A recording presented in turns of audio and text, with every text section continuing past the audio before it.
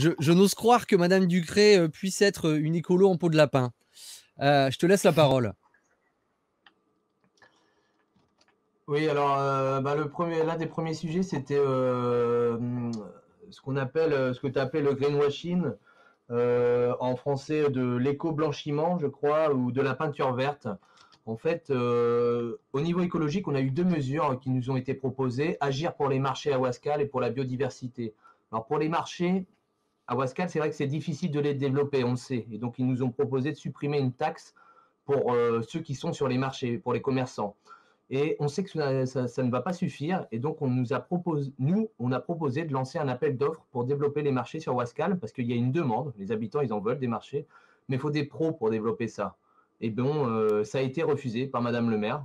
Autant dire que euh, ben, là, dans les, sur la prochaine année, rien ne va se passer pour les marchés à Wascal. Enfin, sur la biodiversité, en particulier pour les insectes, qui représentent trois quarts des espèces vivantes sur Terre, qui sont en déclin, ils ont décidé de mettre 12 ruches. Alors 12, ça peut faire sourire. A priori, euh, l'objectif c'est 100, on attend de voir. Le problème, c'est que le vrai levier pour la biodiversité, c'est l'agriculture biologique, qui ramène en fait 30% euh, de biodiversité en plus que l'agriculture conventionnelle. Et donc nous, simplement, on a proposé de faire une étude d'impact financier si on passait toute la cantine en biologique. Bon, la réponse fut euh, malheureusement sans surprise. Je pensais quand même qu'elle nous dirait que ce serait intéressant, mais non, ça n'a pas été pris en compte.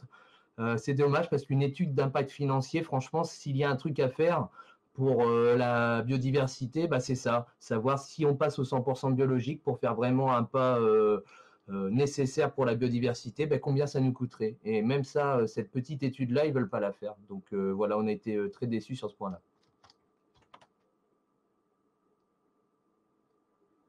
On lui demandait pas de passer au 100% bio maintenant. C'est pas ça qu'on lui demandait. C'était vraiment juste d'étudier c'est ça, de, de, mandater des gens pour étudier combien, combien ça coûterait, parce que si ça s'ouvre, euh, euh, si ça se trouve, ça coûterait pas si cher que ça finalement. Hein.